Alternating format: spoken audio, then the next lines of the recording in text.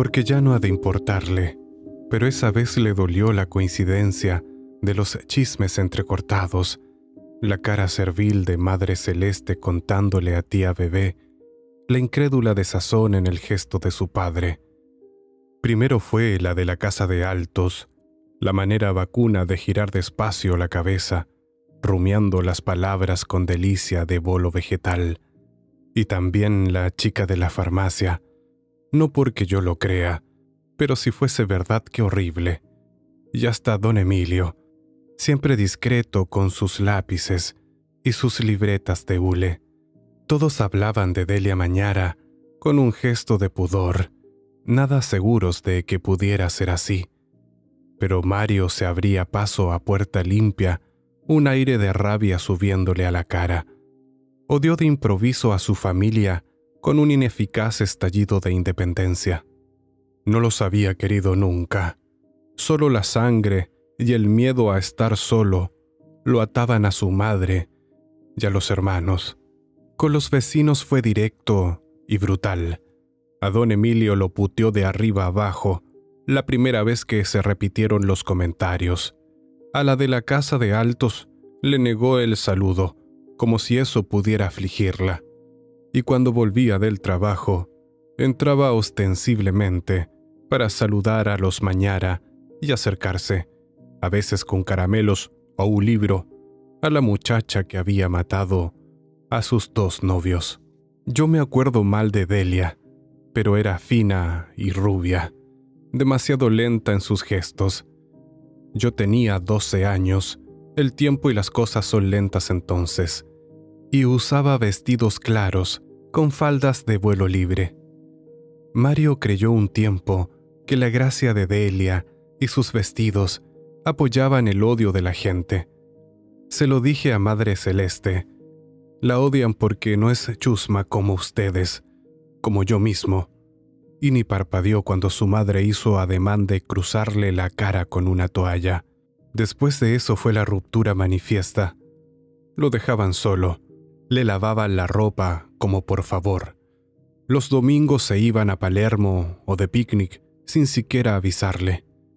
Entonces Mario se acercaba a la ventana de Delia y le tiraba una piedrita. A veces ella salía, a veces la escuchaba reírse adentro, un poco malvadamente, y sin darle esperanzas. Vino la pelea, Firpo Dempsey, y en cada casa se lloró y hubo indignaciones brutales, seguidas de una humillada melancolía casi colonial. Los mañaras se mudaron a cuatro cuadras, y eso hace mucho en Almagro, de manera que otros vecinos empezaron a tratar a Delia. Las familias de Victoria y Castros Barros se olvidaron del caso, y Mario siguió viéndola dos veces por semana cuando volvía del banco. Era ya verano, y Delia quería salir a veces. Iban juntos a las confiterías de Rivadavia o a sentarse en Plaza Once. Mario cumplió 19 años Delia vio llegar sin fiestas. Todavía estaba de negro. Los 22. Los Mañara encontraban injustificado el luto por un novio. Hasta Mario hubiera preferido un dolor solo por dentro. Era penoso presenciar la sonrisa velada de Delia cuando se ponía el sombrero ante el espejo, tan rubia sobre el luto. Se dejaba adorar vagamente por Mario y los Mañara, se dejaba pasear y comprar cosas, volver con la última luz y recibir los domingos por la tarde. A veces salía sola hasta el antiguo barrio, donde Héctor la había festejado. Madre Celeste la vio pasar una tarde y cerró con ostensible desprecio las persianas. Un gato seguía a Delia. Todos los animales se mostraban siempre sometidos a Delia. No se sabía si era cariño o dominación. Le andaban cerca sin que ella los mirara. Mario notó una vez que un perro se apartaba cuando Delia iba a acariciarlo. Ella lo llamó. Era en el once de tarde, y el perro vino manso, tal vez contento, hasta sus dedos. La madre decía que Delia había jugado con arañas cuando chiquita. Todos se asombraban, hasta Mario que les tenía poco miedo, y las mariposas venían a su pelo. Mario vio dos en una sola tarde, en San Isidro, pero Delia las ahuyentaba con un gesto liviano. Héctor le había regalado un conejo blanco, que murió pronto, antes que Héctor. Pero Héctor se tiró en Puerto Nuevo, un domingo de madrugada. Fue entonces cuando Mario oyó los primeros chismes. La muerte de Rollo Médicis no había interesado a nadie, desde que medio mundo se muere de un síncope. Cuando Héctor se suicidó, los vecinos vieron demasiadas coincidencias. En Mario renacía la cara servil de Madre Celeste contándole a tía bebé la incrédula desazón en el gesto de su padre, para colmo fractura del cráneo, porque Rolo cayó de una pieza al salir del zaguán de los Mañara, y aunque ya estaba muerto, el golpe brutal contra el escalón fue otro feo detalle. Delia se había quedado adentro, raro que no se despidieran en la misma puerta pero de todos modos estaba cerca de él y fue la primera en gritar. En cambio Héctor murió solo, en una noche de helada blanca, a las cinco horas de haber salido de casa de Delia, como todos los sábados. Yo me acuerdo mal de Mario, pero dicen que hacía linda pareja con Delia. Aunque ella estaba todavía en el luto por Héctor, nunca se puso luto por Rolo, vaya a saber el capricho aceptaba la compañía de Mario para pasear por Almagro o ir al cine. Hasta ese momento Mario se había sentido fuera de Dalia, de su vida, hasta de la casa. Era siempre una visita, y entre nosotros la palabra tiene un sentido exacto y divisorio. Cuando la tomaba del brazo para cruzar la calle, o al subir la escalera de la estación Medrano, Miraba a veces su mano apretada contra la seda negra del vestido de Delia. Medía ese blanco sobre negro, esa distancia. Pero Delia se acercaría cuando volviera al gris, a los claros sombreros, para el domingo de mañana. Ahora que los chismes no eran un artificio absoluto, lo miserable para Mario estaba en que anexaban episodios indiferentes para darles un sentido. Mucha gente muere en Buenos Aires de ataques cardíacos o asfixia por inmersión. Muchos conejos languidecen y mueren en las casas, en los patios. Muchos perros rehuyen o aceptan las caricias. Las pocas líneas que Héctor dejó a su madre, los sollozos que la de la casa de Altos dijo haber oído en el zaguán de los Mañara, la noche en que murió Rolo, pero antes del golpe, el rostro de Delia los primeros días. La gente pone tanta inteligencia en esas cosas, y cómo, de tantos nudos, agregándose nace el final el trozo de tapiz. Mario vería a veces el tapiz con asco, con terror, cuando el insomnio entraba a su piececita para ganarle la noche. Perdóname mi muerte. Es imposible que entiendas, pero perdóname, mamá un papelito arrancado al borde de crítica, apretado con una piedra al lado del saco, que quedó como un mojón para el primer marinero de la madrugada. Hasta esa noche había sido tan feliz. Claro que lo habían visto raro las últimas semanas, no raro, mejor distraído, mirando el aire como si viera cosas, igual que si se tratara de escribir algo en el aire, descifrar un enigma. Todos los muchachos del Café Rubí estaban de acuerdo, mientras que Rolo no. Le falló el corazón de golpe. Rolo era un muchacho solo y tranquilo, con plata y un Chevrolet doble faetón, de manera que pocos lo habían confrontado en ese tiempo final. En los aguanes las cosas resuenan tanto. La de la casa de Altos sostuvo días y días que el llanto de Rolo había sido como un alarido sofocado, un grito entre las manos que quieren ahogarlo y lo van cortando en pedazos. Y casi enseguida, el golpe atroz de la cabeza contra el escalón, la carrera de Delia clamando, el revuelo ya inútil. Sin darse cuenta, Mario juntaba pedazos de episodios, se descubría urdiendo explicaciones paralelas al ataque de los vecinos. Nunca preguntó a Delia, esperaba vagamente algo de ella. A veces pensaba si Delia sabría exactamente lo que se murmuraba.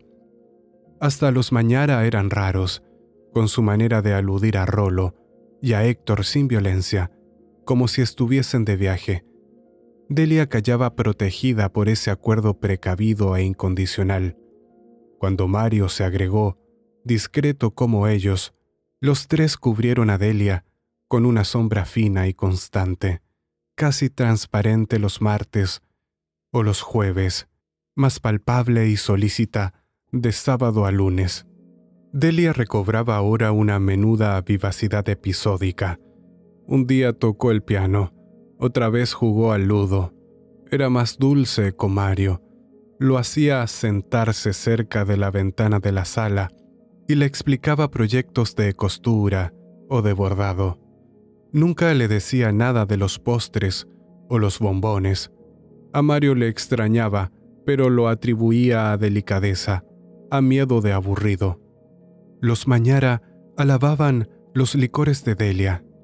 Una noche quisieron servirle una copita, pero Delia dijo con brusquedad que eran licores para mujeres y que había volcado casi todas las botellas. A Héctor.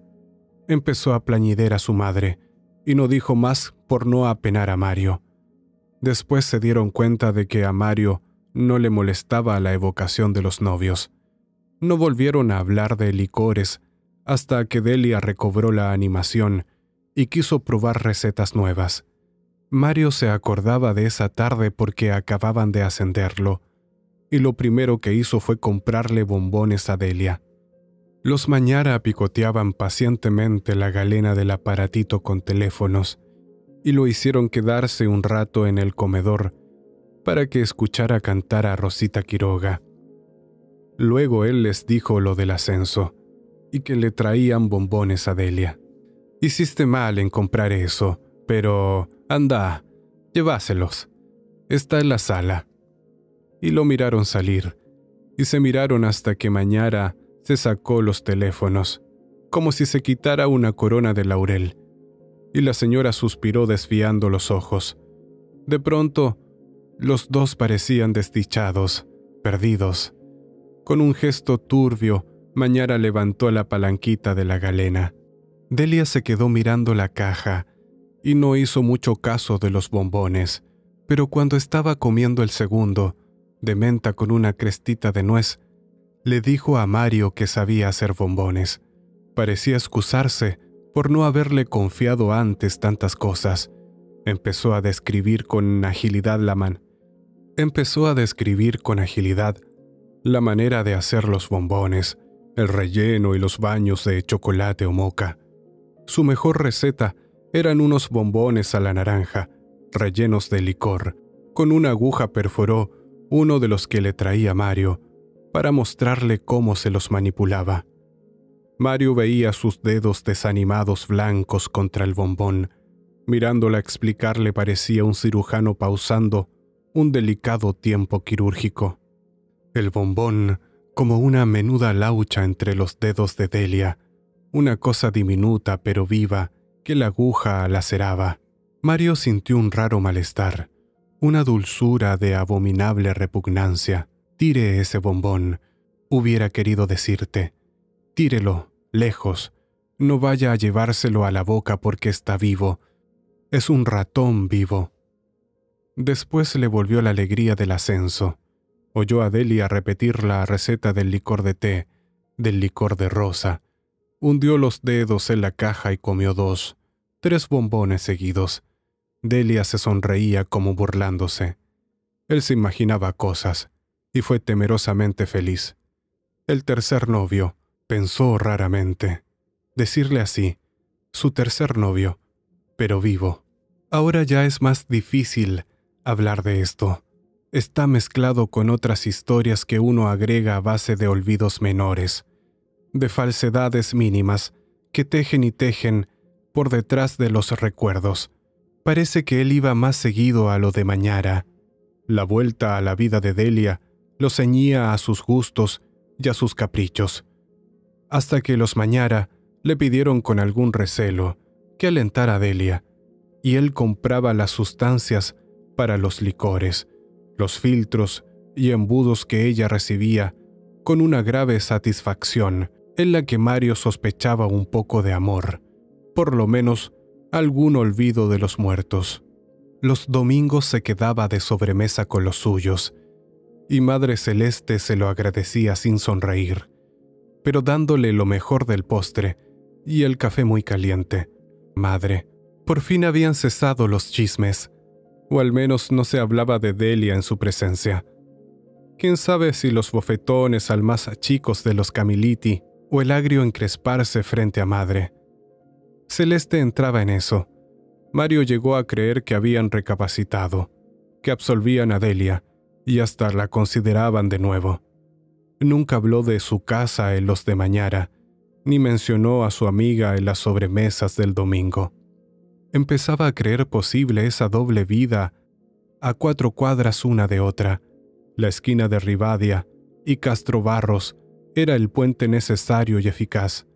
Hasta tuvo esperanzas de que el futuro acercara las casas, las gentes, sordo al paso incomprensible que sentía, a veces a solas, como íntimamente ajeno y oscuro. Otras gentes no iban a ver a los Mañara. Asombraba un poco esa ausencia de parientes o de amigos. Mario no tenía necesidad de inventarse un toque especial de timbre. Todos sabían que era él. En diciembre, con un calor húmedo y dulce, Delia logró el licor de naranja concentrado. Lo bebieron felices un atardecer de tormenta. Los Mañara no quisieron probarlo, seguro de que les haría mal. Delia no se ofendió, pero estaba como transfigurada, mientras Mario sorbía apreciativo el dedalito violáceo, lleno de luz naranja, de olor quemante. Me va a hacer morir de calor, pero está delicioso, dijo una o dos veces. Delia, que hablaba poco cuando estaba contenta, observó. Lo hice para vos. Los Mañara lo miraban como queriendo leerle la receta, la alquimia minuciosa de 15 días de trabajo. A Rolo le habían gustado los licores de Delia. Mario lo supo por unas palabras de Mañara dichas al pasar cuando Delia no estaba. Ella le hizo muchas bebidas, pero Rolo tenía miedo por el corazón. El alcohol es malo para el corazón. Tener un novio tan delicado. Mario comprendía ahora la liberación que asomaba en los gestos, en la manera de tocar el piano de Delia. Estuvo por preguntarle a los Mañara qué le gustaba a Héctor, y también Delia le hacía licores o postres a Héctor. Pensó en los bombones que, Delia volvía a ensayar y que se alineaban para secarse en una repisa de la antecocina. Algo le decía a Mario que Delia iba a conseguir cosas maravillosas con los bombones. Después de pedir muchas veces, obtuvo que ella le hiciera probar uno. Ya se iba cuando Delia le trajo una muestra blanca y liviana en un platito de alpaca. Mientras lo saboreaba, algo apenas amargo con un asomo de menta y nuez moscada mezclándose raramente, Delia tenía los ojos bajos y el aire modesto. Se negó a aceptar los elogios. No era más que un ensayo, y estaba lejos de lo que se proponía. Pero, a la visita siguiente, también de noche, ya en la sombra de la despedida junto al piano, le permitió probar otro ensayo. Había que cerrar los ojos para adivinar el sabor, y Mario obediente cerró los ojos y adivinó un sabor a mandarina, levísimo, viniendo desde lo más hondo del chocolate. Sus dientes desmenuzaban trocitos crocantes, no alcanzó a sentir su sabor, y era solo la sensación agradable de encontrar un apoyo entre esa pulpa dulce y esquiva. Delia estaba contenta del resultado. Dijo a Mario que su descripción del sabor se acercaba a lo que había esperado.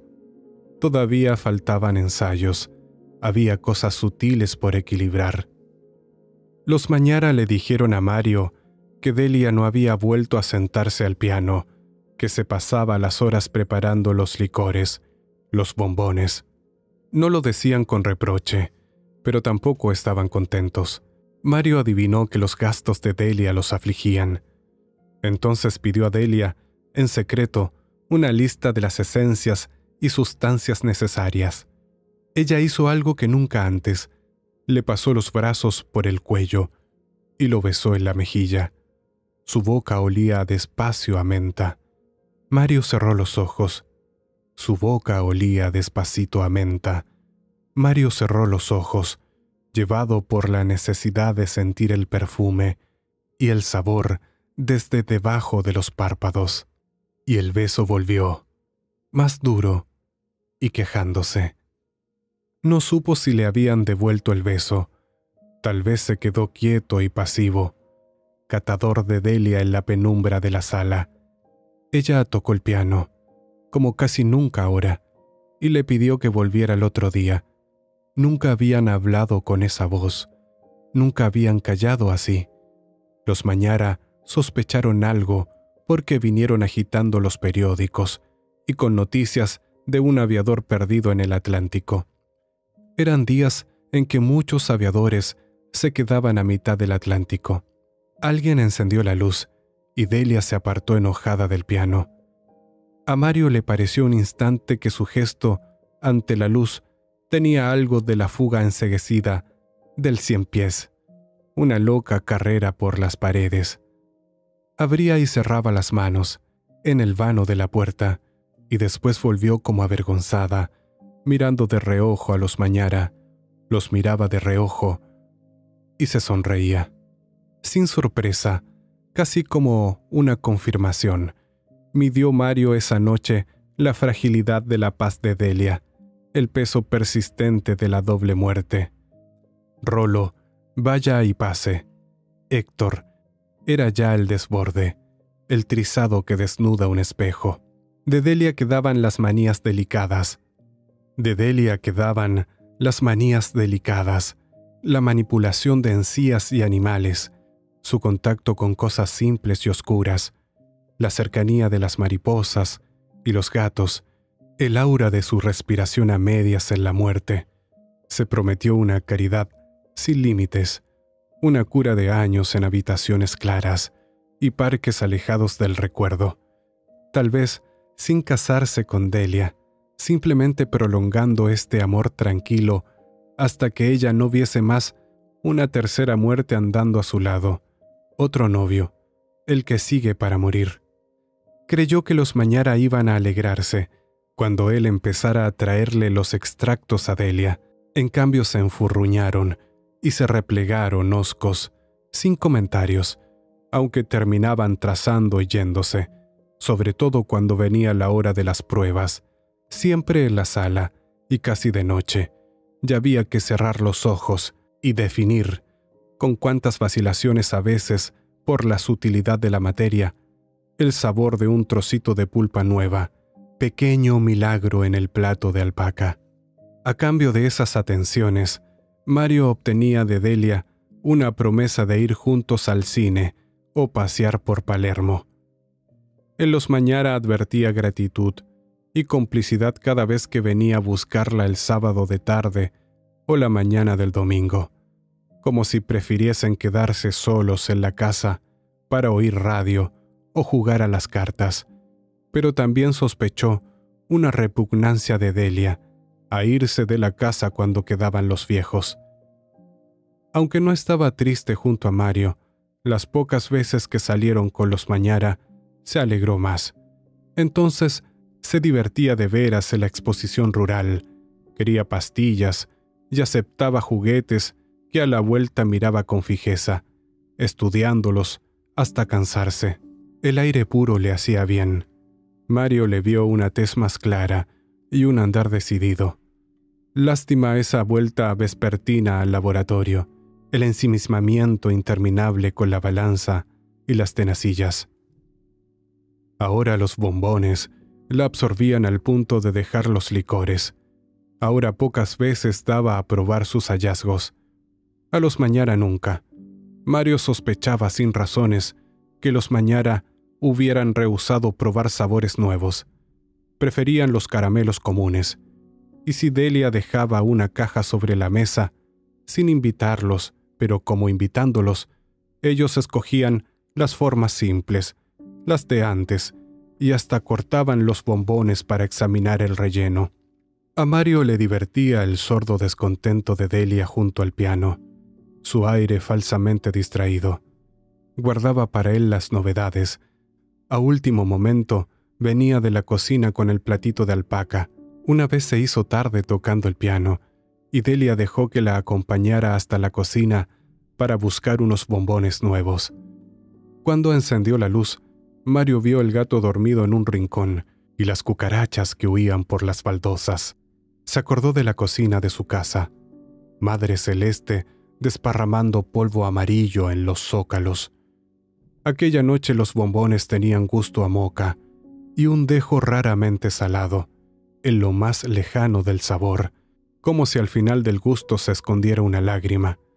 Era idiota pensar en eso, en el resto de las lágrimas caídas, la noche de rolo en el zaguán.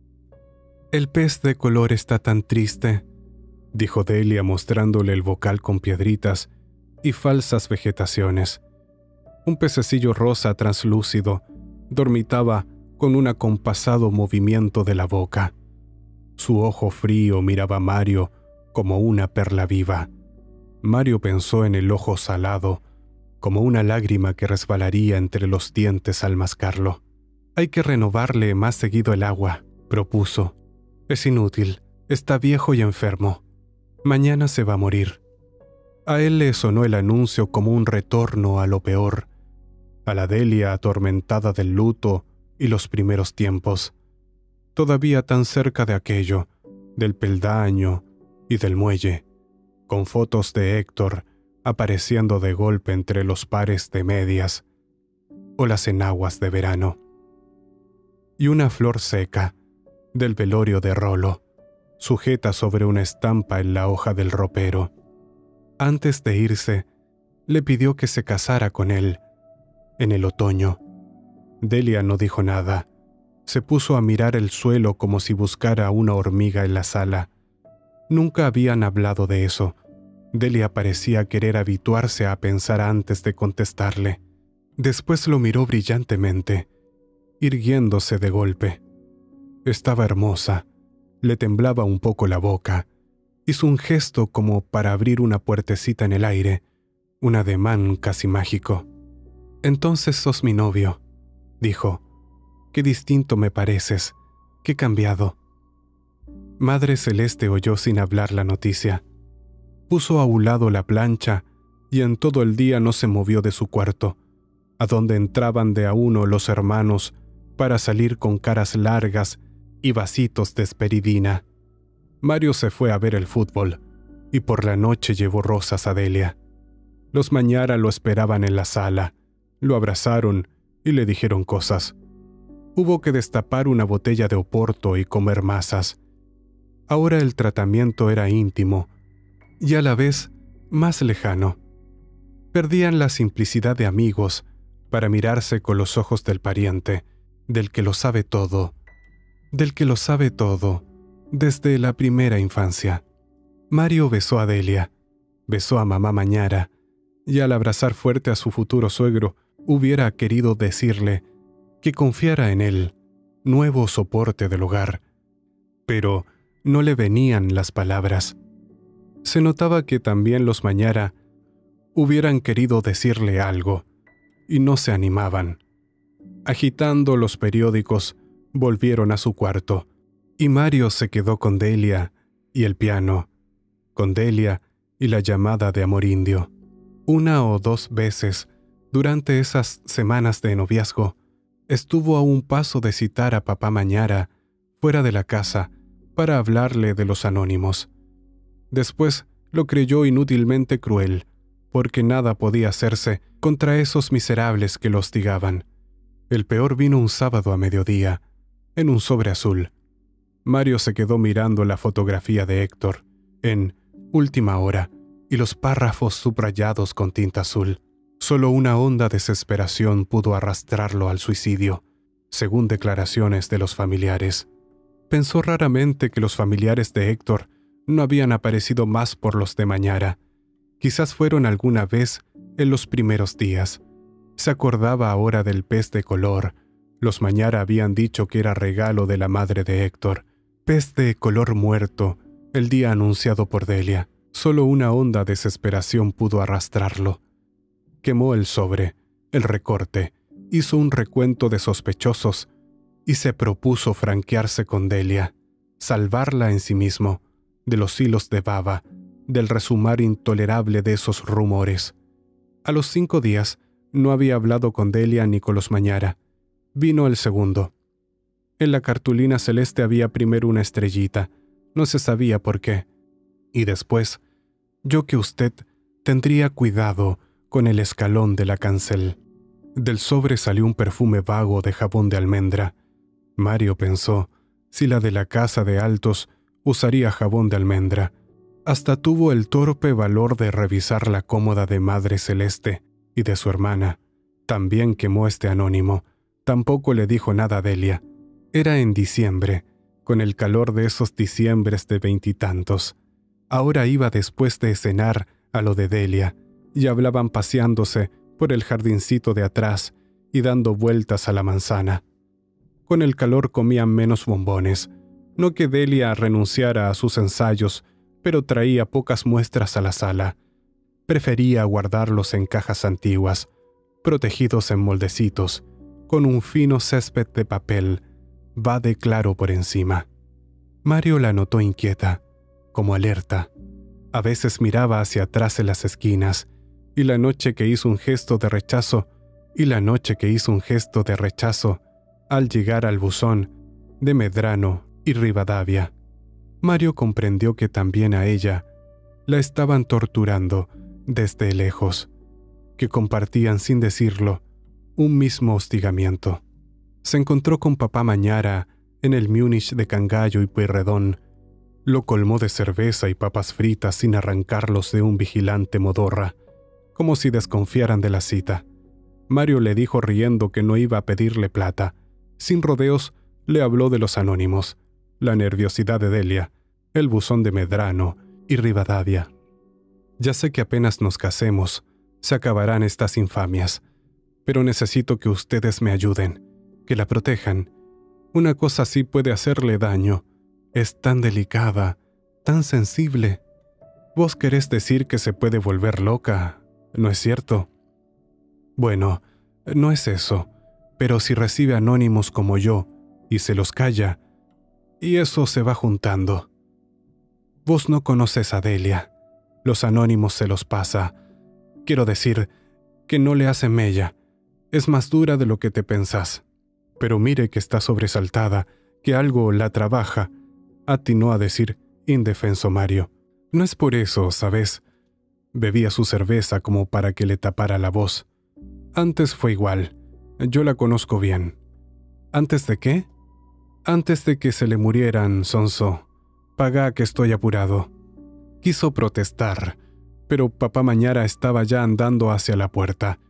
Le hizo un gesto vago de despedida y se fue para el once con la cabeza gacha. Mario no se animó a seguirlo, ni siquiera a pensar mucho lo que acababa de oír.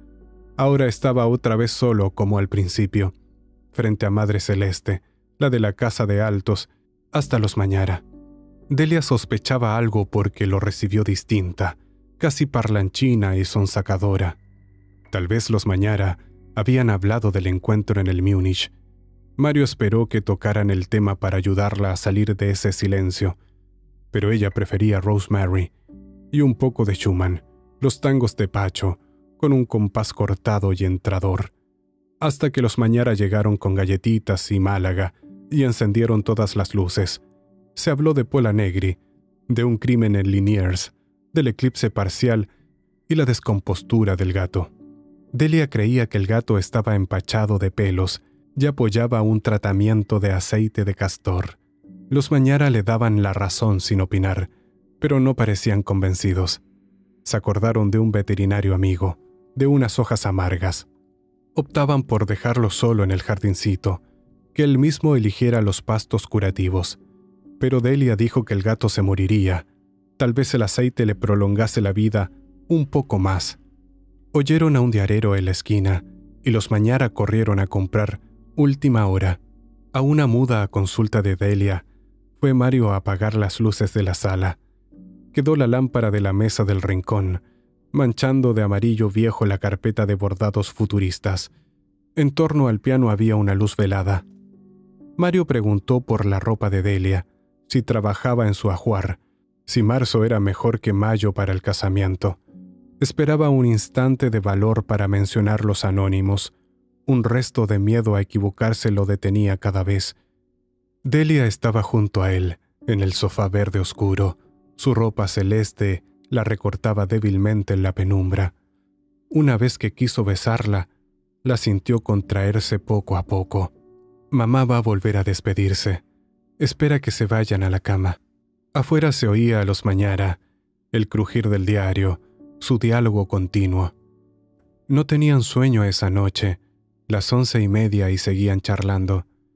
Delia volvió al piano, como obstinándose, tocaba largos valses criollos, con da capo al fine, una vez y otra, escalas y adorno, un poco cursis, pero, pero, que a Mario le encantaban. Y siguió en el piano hasta que los Mañara vinieron a decirle buenas noches, y que no se quedara mucho rato. Ahora que él era de la familia, tenía que velar más que nunca por Delia y cuidar que no se trasnochara. Cuando se fueron, como a disgusto pero rendidos de sueño, el calor entraba bocanadas por la puerta del zaguán y la ventana de la sala. Mario quiso un vaso de agua fresca y fue a la cocina, aunque Delia quería servírselo, y se molestó un poco. Cuando estuvo de vuelta vio a Delia en la ventana, mirando la calle vacía por donde antes, en noches iguales, se iban Rolo y Héctor. Algo de luna se acostaba ya en el piso cerca de Delia, en el plato de alpaca que Delia guardaba en la mano como otra pequeña luna. No había querido pedirle a Mario que probara delante de los Mañara. Él tenía que comprender cómo la cansaban los reproches de los Mañara. Siempre encontraban que era abusar de la bondad de Mario pedirle que probara los nuevos bombones. Claro que si no tenían ganas, pero nadie le merecía más confianza, los Mañara eran incapaces de apreciar un sabor distinto.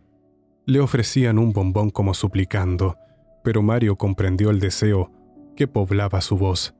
Ahora lo abarcaba como una claridad que venía de la luna, ni siquiera de Delia. Puso el vaso de agua sobre el piano, no había bebido en la cocina, y sostuvo con dos dedos el bombón, con Delia a su lado esperando el veredicto. Anhelosa la respiración, como si todo dependiera de eso, sin hablar, pero urgiéndolo con el gesto, los ojos crecidos, o era la sombra de la sala, oscilando apenas el cuerpo al jadear, porque ahora era casi un jadeo, cuando Mario acercó el bombón a la boca, iba a morder, bajaba la mano, y Delia gemía como si en medio de un placer infinito se sintiera de pronto frustrada. Con la mano libre apretó apenas los flancos del bombón, pero no lo miraba. Tenía los ojos en Delia y la cara de yeso, un pierrot repugnante en la penumbra. Los dedos se separaban, dividiendo el bombón. La luna cayó de plato en la mesa blanquecina de la cucaracha. La luna cayó de plato en la mesa blanquecina de la cuchara, el cuerpo desnudo de su revestimiento coriáceo, y alrededor, mezclados con la menta y el mazapán, los trochos de patas y alas, el polvillo del caparacho triturado. Cuando le tiró los pedazos a la cara, Delia se tapó los ojos y empezó a sollozar jadeando en un hipo que la ahogaba, cada vez más agudo el llanto como la noche de Rolo. Entonces los dedos de Mario se cerraron en su garganta como para protegerla de ese horror que le subía al pecho.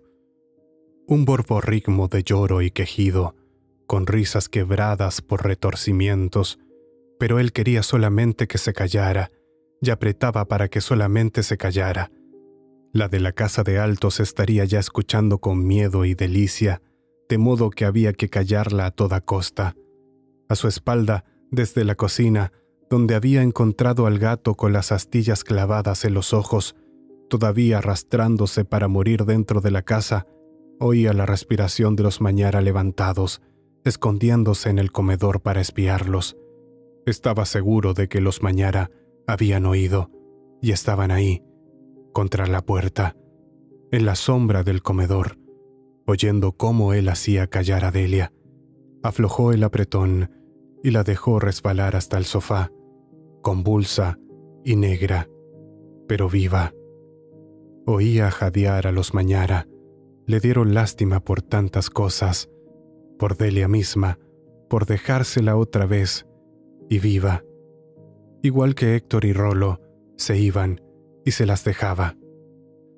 Tuvo mucha lástima de los Mañara, que habían estado ahí agazapados y esperando que él, por fin alguno, hiciera callar a Delia que lloraba, hiciera cesar por fin el llanto de Delia.